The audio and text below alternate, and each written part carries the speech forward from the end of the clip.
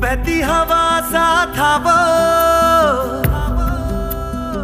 उड़ती पतंग सा था वो कहा गया उसे ढूंढो?